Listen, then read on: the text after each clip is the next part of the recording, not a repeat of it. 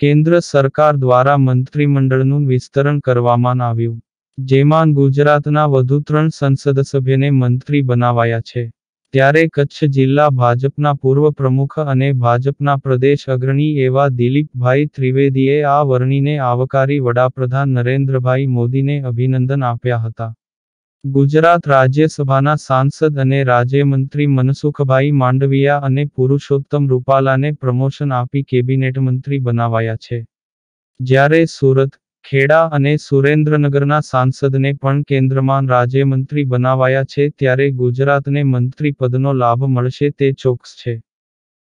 કાલે માનનીય વડાપ્રધાને બીજી ટર્મનું જે કંઈ મંત્રીમંડળમાં વિસ્તાર કર્યો એ વિસ્તારમાં ગુજરાતના જે કે પ્રદિત પ્રતિનિધિત્વ આપ્યું છે, એ સરકારમાં, કેન્દ્ર સરકારમાં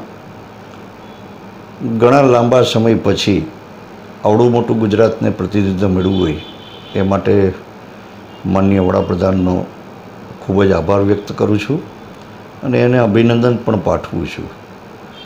જે રીતે અગાઉ પણ ગુજરાતના અગ્રીમ હરોળના નેતા અને દેશના અત્યારે વડાપ્રધાન તરીકે ગુજરાતના જ છે. સાથે ગૃહમંત્રી અમિતભાઈ શાહ પણ ગુજરાતના અને બંને પટેલ સમાજના અગ્રણીઓ. આદરણીય મનસુખભાઈ અને આદરણીય રૂપાલાજી. એમને પણ રાજ્ય કક્ષાના પ્રધાનમાંથી પ્રમોશન આપીને કેબિનેટ કક્ષાના પ્રધાન. અને સાથે આપણે ગુજરાતમાંથી પણ રાજ્યસભામાં ગયેલા વિદેશ મંત્રી કે તેઓ પણ ગુજરાતમાંથી જ ગયેલા મંત્રીમંડળમાં છે.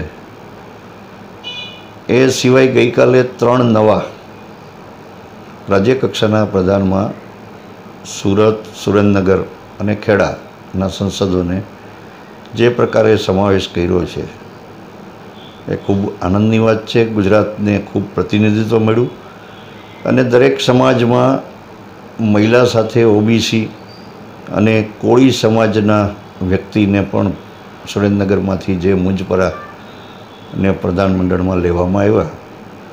તો એ પ્રકારે એક ગુજરાતના માટે સોનેરી અવસર કહેવાય કે કામ કરવાની તક અને સાથે સાથે કેન્દ્રમાં એક પ્રતિનિધિત્વ જે લાભ મળ્યો છે એ ખૂબ જ પ્રશંસનીય છે.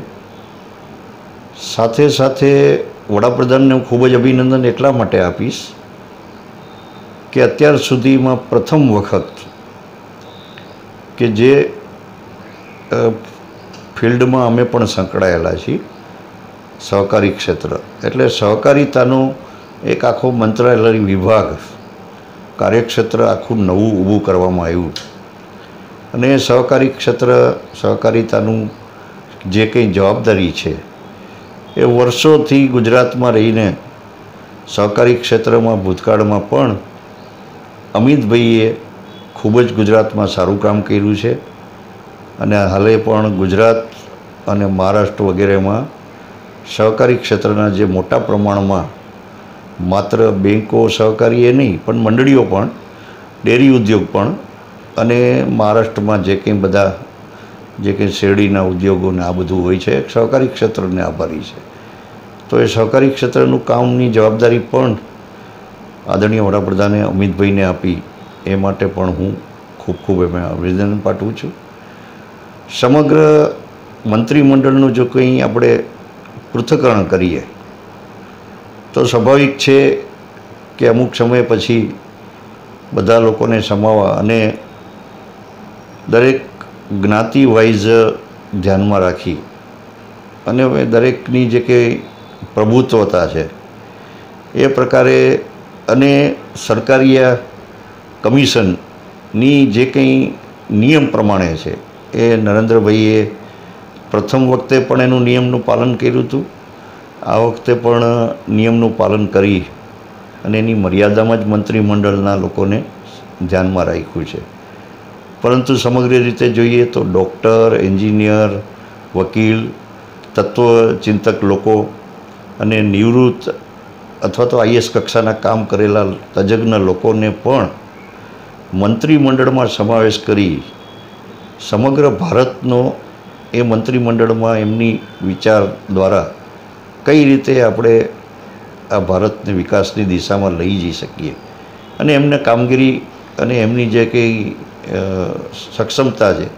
એ સક્ષમતાને ધ્યાનમાં લઈને માનનીય વડાપ્રધાને દરેક વર્ગના લોકોને પણ ધ્યાનમાં રાખ્યું છે.